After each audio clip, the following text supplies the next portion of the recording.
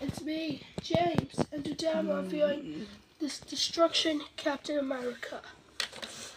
In this vein, I'm gonna get him out. The get him out is to, is to, okay, here's his packaging.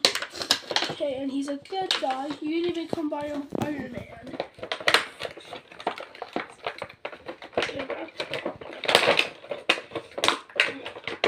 How much was that toy, James? Five dollars from the Asian shop. Yeah.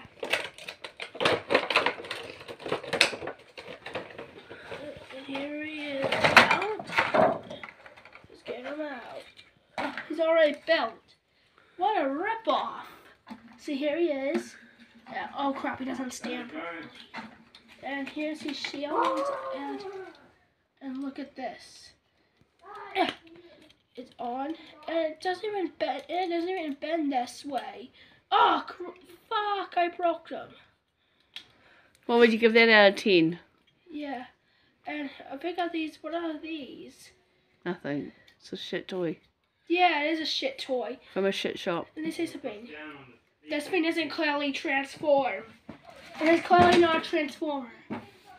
No, it's a cheap rip-off from the Asian shop. Okay, and let's and let's do some size comparisons.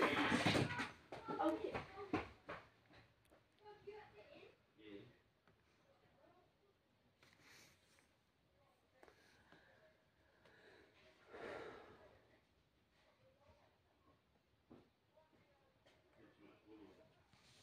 Here. Here's my Transformers Rise of the Beast Airazor. Transformers Studio Series Grimlock. And my and you and my Jurassic World and Calosaurus. And and we can also do Captain America to do this to him. And yeah, and we can also do this. And this. Shitting on his head. And now I'm going to do Captain America next. I'll kill him. Right, quick.